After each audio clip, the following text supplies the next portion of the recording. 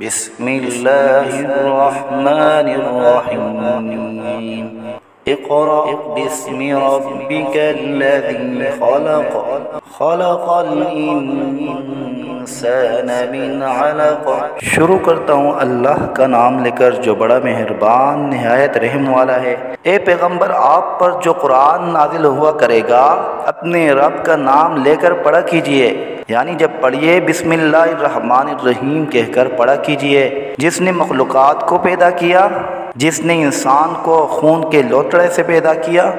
وربك الأكرم الذي علم بالقلم، علم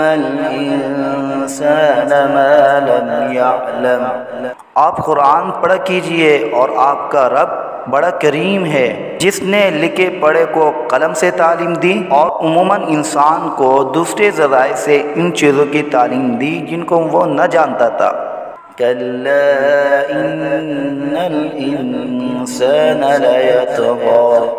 اور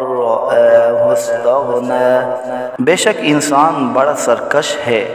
اس وجہ سے کہ اپنے آپ کو مستغنی دیکھتا ہے۔ ان الى ربك الرجعى. أرأيت الذي ينهى عبدا اذا صلى؟ اے مخاطب، تیرے رب ہی کی طرف سب کا لوٹنا ہے۔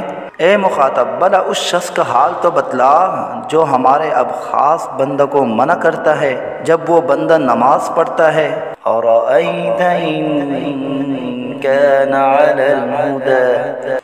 امر بالتقوى. اور اے مخاطب بلا یہ تو بتلا، اگر وہ بندہ ہدایت پر ہو یا وہ دوسروں کو بھی تقوی کی تعلیم دیتا ہو۔ أرأيت إن كذب وتولى؟ ألم يعلم بأن الله يرى؟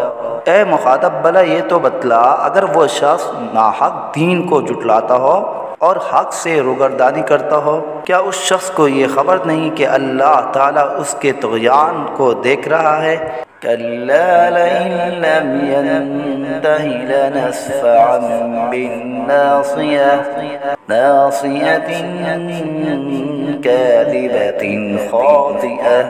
ہرگز ایسا نہیں کرنا چاہیے۔ اور اگر یہ شخص بعد نہ آئے گا تو ہم اس کو پیشانی سے پکڑ کر جہنم کی طرف گھسیٹیں گے، جس کی پیشانی خطا اور جھوٹ میں آلودہ ہو چکی ہے۔ فَلْيَدْعُ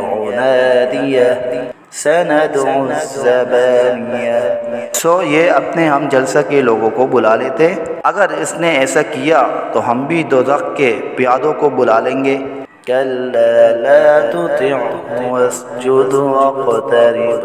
اس کو ہرگز ایسا نہیں کرنا چاہیے، مگر آپ اس کا کہنا نہ مانیں اور بدستور نماز پڑھتے رہیے اور خدا کا قرب حاصل کرتے رہیے۔